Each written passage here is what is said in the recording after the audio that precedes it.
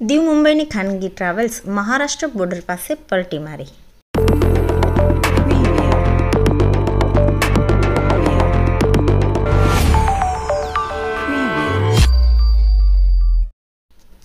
કેન્દ્રશાસિત પ્રદેશ દીવથી નીકળેલી દીવ મુંબઈ ખાનગી ટ્રાવેલ્સ મહારાષ્ટ્ર બોર્ડરથી થોડે દૂર અચાનક જ પલટી મારી હતી. પલટી મારતા એક વૃક્ષ વચ્ચે આવી જતા તે ખાડામાં પડતા પડતા વૃક્ષના ટેકે અટકી ગઈ હતી અને સદનસીબે કોઈ પણ પેસેન્જરને હાનિ પહોંચી ન હતી.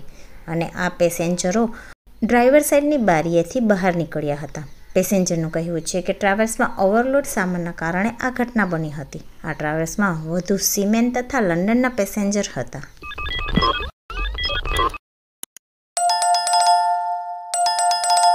What?